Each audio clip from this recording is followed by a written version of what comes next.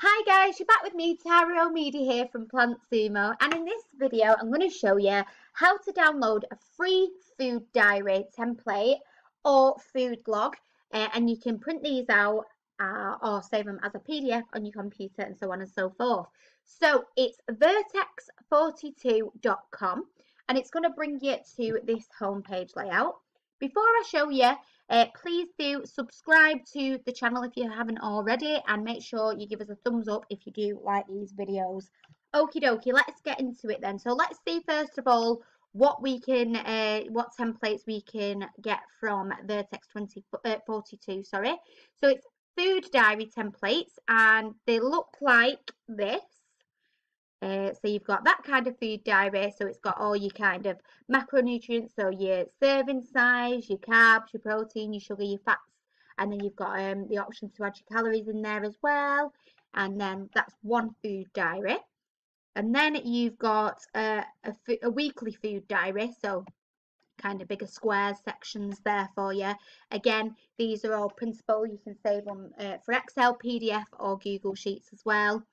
Um, and yeah, so let's have a look then at downloading it. So I'm going to save this one as a PDF. And the great thing about this as well, guys, I've just noticed you can actually fill out your water intake as well. So it's not just focusing on your food, but actually keeping an eye on your water and logging, you know, how much you've drank daily as well.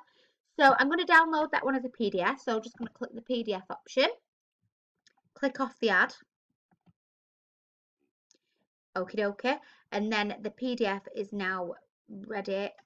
So just bear with me while that downloads. So there you go. That is the PDF downloaded. Really simple and easy. If you want to print it out, you've got all the options to do that here. Uh, yeah, and so on and so forth. Really, really simple and easy to use. I'm just going to zoom out so you can see it all a bit better. But I absolutely love here how, uh, how they've got the water section and then the notes section as well. So if you've got any notes kind of, you know, you want to write throughout the day just to uh, read or you just anything you might forget you can pop it on your notes there as well. And it's just going to keep you on plan for the day and really help you to plan as well what you're having not just for the day but maybe even for the week. Or it could be um, your food diary as you're eating as well. Some people like to plan don't they? So they like to plan what they're going to have throughout the week for breakfast and pop it down like that. Me personally i like to write as a bite I got that saying from uh, a weight loss group I used to go to. So I like to write as a bite so then I'd never miss a trick and I know everything that I'm doing throughout that day. Uh, and it's always good just to go back to as well, just to see uh, how some weeks, you know, you might have felt. And this is where you, the notes section could come in handy as well, because if you're a bit like me, I don't know about you, but I kind of eat with my emotions. So sometimes if I feel really sad, I'll turn to chocolate and things like that.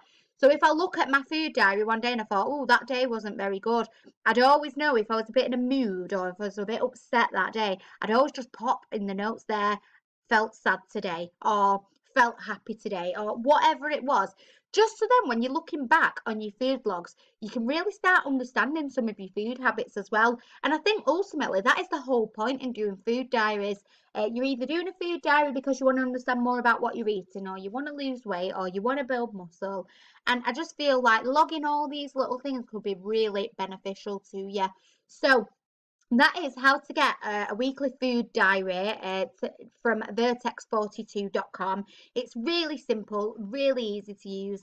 Let us know if you've used it, how you've got on, and let us know your success stories as well with your weight loss journey or whatever your fitness journey, whether it's building muscle or losing weight on, you know, all that stuff. Let us know how you get on. We really want to hear all your stories. So thank you so much for watching the video. I hope this was helpful and I shall see you in the next video.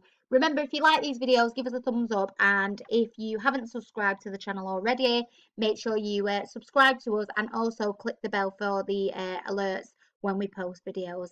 All right then, thanks for watching. See you next time.